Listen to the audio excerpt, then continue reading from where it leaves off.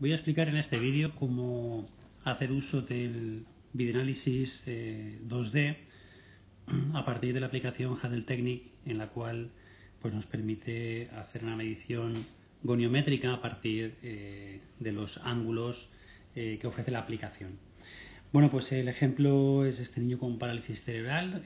tenemos la, pericirugía y la, la postcirugía en la que se ha hecho una derrotación a nivel del fémur.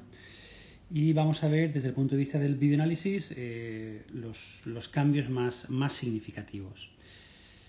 Para ello empezaremos desde eh, la primera parte del vídeo, en el cual se ha sincronizado tanto eh, el pre como la post cirugía. Vamos a seleccionar una parte del vídeo en la cual eh, podamos sincronizar las dos eh, fases de apoyo del pre y del post quirúrgico, de modo que eh, vamos a medir el movimiento angular tanto de la rodilla como del tobillo. Por ejemplo, vamos a detener, vamos a congelar esta imagen. Aquí vamos a seleccionar la medición del ángulo y de esta forma podemos dibujar a través de puntos de referencia como van a ser la rótula, el tercio medio del muslo y luego este brazo móvil que lo situaremos hasta la parte medial del tobillo. Aquí tendríamos la angulación en un plano frontal de esa abducción eh, del ángulo de la rodilla. En la medición post eh, procederíamos de la misma manera, seleccionaríamos el ángulo, buscaríamos las mismas zonas de referencia, es una información eh, visual, eh, la zona de referencia desde un punto de vista visual, siguiendo el tercio medio del muslo y siguiendo hasta la parte eh, central de los maleolos. De modo que una vez que tengamos ya esta medición hecha, lo que hacemos es congelar la imagen mediante una foto. quitamos los ángulos de la rodilla.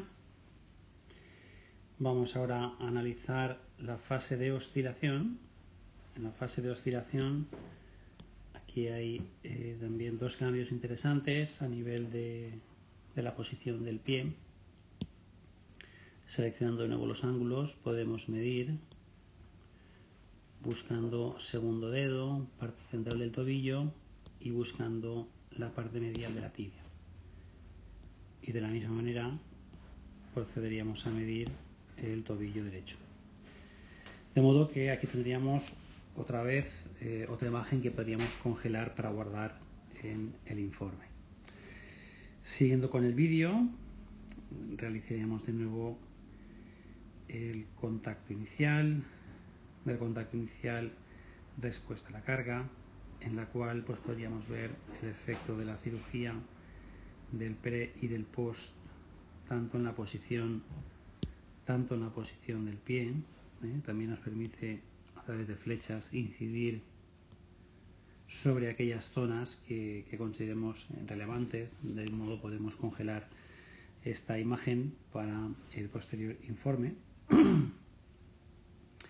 De manera que aquí se han superpuesto los dos vídeos pre en las mismas fases y es una manera muy, muy visual, muy, muy didáctica a la hora de poder eh, apoyar el, informe que, podamos realizar de los cambios realizados en el pre y el post a partir de esta medición eh, angular. Procederíamos hasta la foto y de esa manera pues tendríamos toda la información eh, preparada para el informe.